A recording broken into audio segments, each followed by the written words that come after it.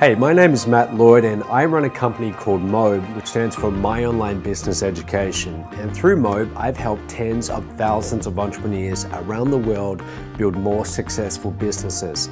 I live a life today that just a few short years ago I would never have thought was possible. I spend roughly a third of my time traveling the world to places like Fiji, Thailand, the Bahamas, Costa Rica, Bali, speaking on stages, sharing what I know, and I'm fortunate enough to have achieved complete financial freedom in my 20s. But it wasn't always like this. Just a few short years ago, I had very little money to my name and life was a constant struggle. Yet, I was able to turn it all around. In this video, I'm going to tell you where I came from, where I'm headed, and possibly how I may be able to help you reach your business goal. So let me start back from the beginning. So I grew up on a wheat and sheep farm in Western Australia, outside of a very small town, which had about 25 people in it. That's right, 25 people. The neighbors literally know each other's names of their pets. I was the youngest of four kids, and while I didn't exactly have a deprived childhood, I certainly knew that we weren't wealthy. So as business owners, my parents worked very hard on the farm. In fact, to this very day, they still do. And I saw firsthand the blood, sweat, and tears they put into the business, but it always just seemed to be a struggle, which is pretty much typical for most farmers. So from an early age, I was always thinking of ways that I could earn a few extra dollars. I was determined that when I grew up, I wasn't going to live a life of financial struggle. I had some pretty strange businesses as a kid. One of my first was selling kangaroo furs. Another, I was breeding marron in the dams on our farm. And another, my brother and I, we were selling potatoes on the side of the road to the traffic that would drive by. So none of these businesses were that successful, but I still loved doing it. I still loved coming up with ways of making money. I guess you could call me a bit of a dreamer. Anyway, my parents always encouraged me to do well financially, and as a result, I saved every penny I earned. Instead of spending the lunch money my mother would give me on our long drives to the city, I'd ask for the money instead. Instead of taking a motorbike as a gift on my 10th birthday, like my two older brothers had, I asked if I could get that money invested in a mining company on the stock market. So, from a very young age, I knew I loved business and I was passionate about wealth creation. Now, after finishing high school, I took some time off and I went backpacking around Canada for almost a year, just trying to decide what I wanted to do with the rest of my life. I knew I wanted to be in business, so when I got back to Australia, I went on to study accounting and finance at university. I spent four years there at supposedly one of the top business schools in Australia, trying to learn business from professors who spoke more about theory, with most of them never having operated their own real business. I felt like I was just wasting my time, so with one year left before graduating, I reached a fork in the road, a very important decision and turning point in my life. One road would have led to a job in corporate finance where I would work 12 hour days for someone else for maybe the next 40 years. And the other road would lead to the exciting world of entrepreneurship where anything was possible and I would follow those childhood dreams of building my own business it became pretty clear to me that there was no choice. So I dropped out of university and the first real business I decided to get involved in was also one I knew absolutely nothing about, and that was online marketing. A couple months later, I had invested $40,000 on my life savings, virtually every penny I had. Uh, I had everything on the line, but I was convinced that I would soon be making my fortune well, I spent the next nine months continuing to invest time and money into this business and not seeing a single dollar come back. Literally, I did not make a single dollar. And it wasn't for lack of trying either. I mean, I was putting in 14 hour days, seven days a week, trying everything I could. Friends and family didn't exactly support me either. They kept telling me, Matt, you should quit, uh, you should get a job, and that I was wasting my time trying to start my own business. Now, the reason why I was struggling was because I had none of the essential business skills that I needed. I didn't know how to market, I didn't know how to sell, I didn't know how to hire staff, how to build teams, so I, I really had no idea what I was doing. So I made a point to start seeking out the right business training from the best business minds I could find. I brought books, tapes, CDs, I went to seminars, anything that I could do to get around with entrepreneurs who knew what they were doing and they were in the position that I aspired to. And finally, I got my first sale.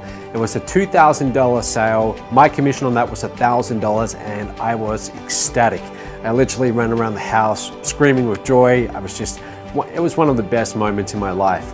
Now, at the time, I was renting with my sister. I was on the brink of poverty. I was just about out of money. So I was very happy, and she looked at me and she said, What are you so excited about? You've been doing this for nine months, and that's all you've got to show for it. But I didn't see it like that because I knew that if I could do it once, I could do it again and again. All I had to do was repeat the same steps that generated that commission and I could replicate that. So that was a real turning point for me, but success still was a long way off. In late 2011, that's when things really started to change for me. By then, I'd been learning the business through both trial and error and investing heavily in my own business education. And after applying these skills, I was getting results. It started off small, a few thousand dollars a month, but then I gained some momentum and I had my first $15,000 month. Two months later, we were at $45,000 a month and then the very next month, I still remember the, the dates clearly, it was January 2012, I grossed $81,000 and it kept on growing from there. Now, for a 24 year old at the time, I mean, that was just a dream come true. From there, the business just really took off. By the age of 25, I was a self-made millionaire, so my whole life changed. By the age of 28, I'd sold over $70 million worth of my own products, services, and live events. Now, if I'm being completely honest with you, in the beginning, a lot of the motivation for me for, for doing well was the money. I was very hungry to do well. I never wanted to have to struggle financially ever again. It was almost like it was a fear for me after growing up on the farm and, and not seeing a lot of money as a kid, and I just didn't want to end up that way. But once I'd made a few million dollars, the money really didn't matter as much. You see, I'm a frugal guy, and that, probably comes from the way I was raised, so my lifestyle wasn't going to change regardless of how much money I made.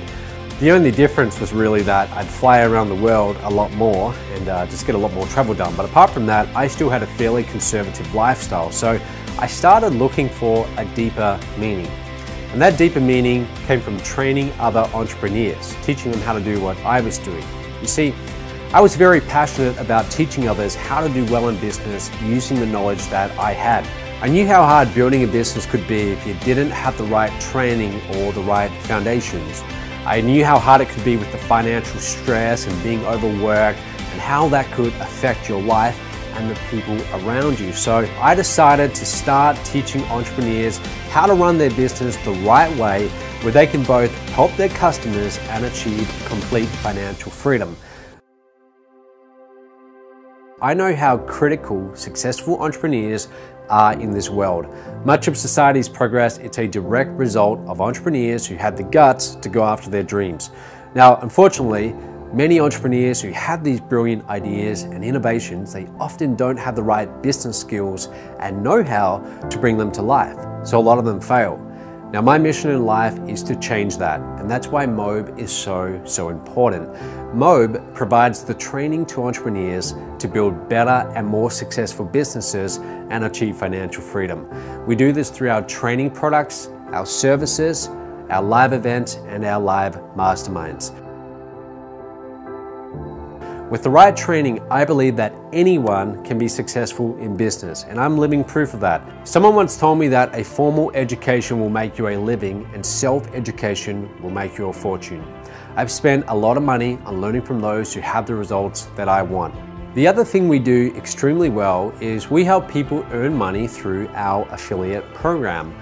Mobe has one of the best affiliate programs in the industry with some of the biggest commissions and highest converting sales funnels around.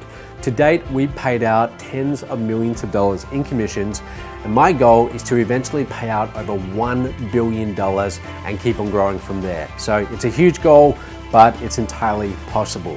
And I get a real kick out of seeing our affiliates do well and make their first sale.